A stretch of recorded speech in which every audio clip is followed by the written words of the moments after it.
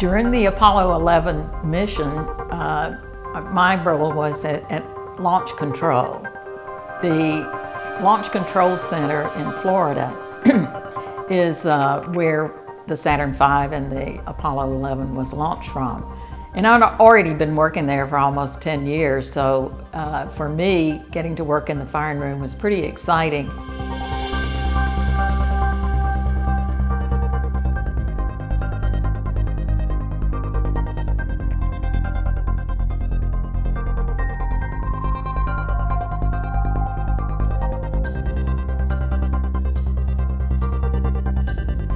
The firing room is where uh, the managers and the test conductors and engineers and technicians are gathered. There are close to 500 people.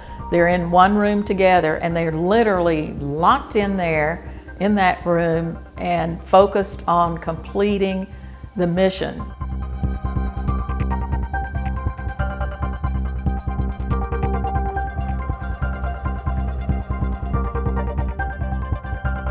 I had been involved in a lot of tests and most all of those tests, in fact, meetings, pre-launch planning, procedure reviews, I would be the only woman in the room. So I was used to being the only woman in the room. If you're the lone woman in the room or you're amongst a small percentage of women in an organization, the number one thing is do your job, get your work done.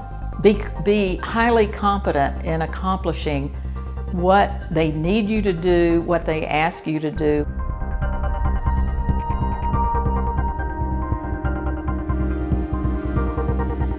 I didn't have very many tools to use when I was a young woman and uh, you know, I was very lucky. I had a good husband who advised me.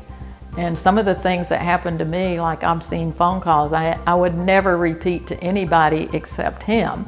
I could tell him exactly what was said, but I couldn't tell any, couldn't tell my mom and dad. I couldn't tell my supervisor. I couldn't tell my coworkers. I just could not do it. And uh, these are, are things that each individual has to handle based on their own personal strength.